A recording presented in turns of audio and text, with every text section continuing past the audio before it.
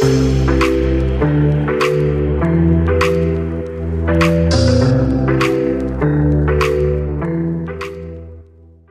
today's video we shall discuss about ecosystem and its functions.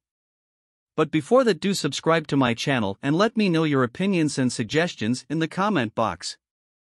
How do we define an ecosystem? An ecosystem is a system consisting of biotic and abiotic components that function together as a unit. The biotic components include all the living things, whereas the abiotic components are the non living things. Thus, an ecosystem is an ecological community consisting of different populations of organisms that live together in a particular habitat. So, what are the functions of an ecosystem? The functional attributes of the ecosystem keep the components running together. Ecosystem functions are natural processes or exchange of energy that takes place in various plant and animal communities of different biomes of the world. It can be studied under the following three heads Energy flow, nutrient cycling, and ecological succession. Energy flow. Energy is the basic force responsible for all metabolic activities. The flow of energy from producer to top consumers is called unidirectional energy flow. The study of trophic level interaction in an ecosystem gives an idea about the energy flow through the ecosystem. Trophic level interaction deals with how the members of an ecosystem are connected based on nutritional needs. Following trophic levels can be identified in a food chain. Autotrophs, they are the producers of food for all other organisms of the ecosystem. They are largely green plants and convert inorganic material in the presence of solar energy by the process of photosynthesis into chemical energy. Herbivores the animals which eat the plants directly are called primary consumers or herbivores, for example, insects, birds, rodents, and ruminants. Carnivores. They are secondary consumers if they feed on herbivores and tertiary consumers if they use carnivores as their food, for example, frog, dog, cat, and tiger. Omnivores. Animals that eat both plant and animals, for example, pig, bear, and man. Decomposers. They take care of the dead remains of organisms at each trophic level and help in recycling the nutrients, for example, bacteria and fungi. Energy flows through the trophic levels from producers to subsequent trophic levels. This energy always flows from lower to higher trophic level. It never flows in the reverse direction, that is, from carnivores to herbivores to producers. There is a loss of some energy in the form of unusable heat at each trophic level so that energy level decreases from the first trophic level upwards. The trophic level interaction involves three concepts namely food chain, food web, and ecological pyramid. Food chain Transfer of food energy from green plants through a series of organisms with repeated eating and being eaten is called a food chain. For example, grasses are eaten by grasshopper. Grasshopper is eaten by frog. The snake eats the frog, and finally, snake is eaten by a hawk or eagle. Food web. Trophic levels in an ecosystem are not linear, rather, they are interconnected and make a food web. Thus, the food web is a network interconnected food chains existing in an ecosystem. One animal may be a member of several different food chains. Food webs are more realistic models of energy flow through an ecosystem. Ecological Pyramid Ecological pyramids are the graphic representations of trophic levels in an ecosystem. They are pyramidal and they are of three types. The producers make the base of the pyramid, and the subsequent tiers of the pyramid represent herbivore, carnivore, and top carnivore levels. The ecological pyramids are of three categories. Pyramid of numbers, this represents the number of organisms at each trophic level. Pyramid of biomass, this represents the total standing crop biomass at each trophic level. Standing crop biomass is the amount of the living matter at any given time. It is expressed as gram per unit area or kilocalorie per unit area. Pyramid of energy or productivity, this pyramid represents the total amount of energy at each trophic level. Energy is expressed in terms of rate such as kilocalorie per unit area or unit time or calorie per unit area per unit time. For example, in a lake autotroph energy is 20,810 kilocalorie per meter per year. Energy pyramids are never inverted. Nutrient cycling, biogeochemical cycles. The ways in which an element or compound such as water moves between its various living and non living forms and locations in the biosphere is called a biogeochemical cycle. Biogeochemical cycles important to living organisms include the water, carbon, nitrogen, and phosphorus cycles. The water cycle. The water cycle is driven by the sun's energy. The sun warms the ocean surface and other surface water, causing liquid water to evaporate and ice to sublime turn directly from a solid to a gas. These sun driven processes move water into the atmosphere in the form of water vapor. Over time, water vapor in the atmosphere condenses into clouds and eventually falls as precipitation, rain, or snow.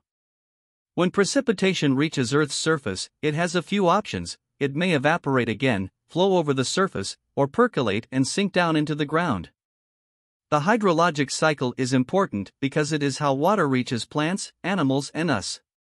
Besides providing people, animals, and plants with water, it also moves things like nutrients, pathogens, and sediment in and out of aquatic ecosystems. The carbon cycle. Carbon cycle is the process where carbon compounds are interchanged among the biosphere, geosphere, hydrosphere, and atmosphere of the Earth. Following are the major steps involved in the process of the carbon cycle. Carbon present in the atmosphere is absorbed by plants for photosynthesis. These plants are then consumed by animals and carbon gets bioaccumulated into their bodies. These animals and plants eventually die, and upon decomposing, carbon is released back into the atmosphere. Some of the carbon that is not released back into the atmosphere eventually become fossil fuels. These fossil fuels are then used for man made activities, which pumps more carbon back into the atmosphere. The carbon cycle is vital to life on Earth. Nature tends to keep carbon levels balanced, meaning that the amount of carbon naturally released from reservoirs is equal to the amount that is naturally absorbed by reservoirs. Maintaining this carbon balance allows the planet to remain hospitable for life. The nitrogen cycle. Fixation. Fixation is the first step in the process of making nitrogen usable by plants. Here, bacteria change nitrogen into ammonium. Nitrification. This is the process by which ammonium gets changed into nitrates by bacteria. Nitrates are what the plants can then absorb. Assimilation. This is how plants get nitrogen. They absorb nitrates from the soil into their roots. Then the nitrogen gets used in amino acids, nucleic acids, and chlorophyll. Ammonification. This is part of the decaying process. When a plant or animal dies, decomposers like fungi and bacteria turn the nitrogen back into ammonium so it can re enter the nitrogen cycle. Denitrification. Extra nitrogen in the soil gets put back out into the air. There are special bacteria that perform this task as well. Nitrogen cycle helps in converting inert nitrogen gas into a usable form for the plants through the biochemical process. In the process of ammonification, the bacteria help in decomposing the animal and plant matter, which indirectly helps to clean up the environment. The phosphorus cycle. Phosphorus moves in a cycle through rocks, water, soil, and sediments and organisms. Over time, rain and weathering cause rocks to release phosphate ions and other minerals. This inorganic phosphate is then distributed in soils and water. Plants take up inorganic phosphate from the soil. The plants may then be consumed by animals. Once in the plant or animal, the phosphate is incorporated into organic molecules such as DNA. When the plant or animal dies, it decays, and the organic phosphate is returned to the soil. Within the soil, organic forms of phosphate can be made available to plants by bacteria that break down organic matter to inorganic forms of phosphorus. This process is known as mineralization. Phosphorus in soil can end up in waterways and eventually oceans. Once there, it can be incorporated into sediments over time. The phosphorus cycle matters because phosphorus is an essential nutrient for sustaining life on Earth, where it plays a central role in the transfer of energy within organisms, the structure of the genetic material, and in the composition of cell membranes, bones, and teeth. Ecological succession or ecosystem development. Ecological succession, the process by which the structure of a biological community evolves over time. Two different types of succession primary and secondary. Primary succession occurs in essentially lifeless areas or regions in which the soil is incapable of sustaining life as a result of such factors as lava flows, newly formed sand dunes, or rocks left from a retreating glacier. Secondary succession occurs in areas where a community that previously existed has been removed. It is typified by small scale disturbances that do not eliminate all life and nutrients from the environment. Now, before concluding, there is a question that remains Is nature conservation necessary?